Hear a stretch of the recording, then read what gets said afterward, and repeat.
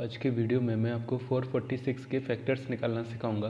Factors निकालने के लिए आपको चेक करना पड़ेगा कि 446 किस संख्या से डिवाइड हो रहा है और कितने बार में डिवाइड हो रहा है। दोनों ही 446 के फैक्टर्स होंगे।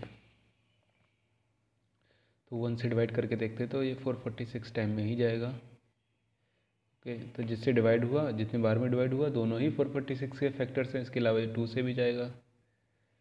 टू ट्वेंटी थ्री टाइम में। तो two and two twenty three भी फोर फोर्टी सिक्स के फैक्टर्स हुए। इस तरह से फोर फोर्टी सिक्स के total one two three four factors निकल के आए। और अगर आपको फोर फोर्टी सिक्स के फैक्टर्स की वीडियो अच्छे से समझ में आई हो तो प्लीज़ मेरे चैनल को लाइक एंड सब्सक्राइब करना ना भूलें